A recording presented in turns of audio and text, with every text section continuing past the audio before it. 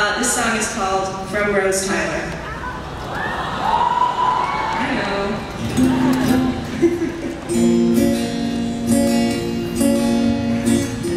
uh, someone says, oh, they know it's already going to be a sad song. it is. It's okay. When you left me empty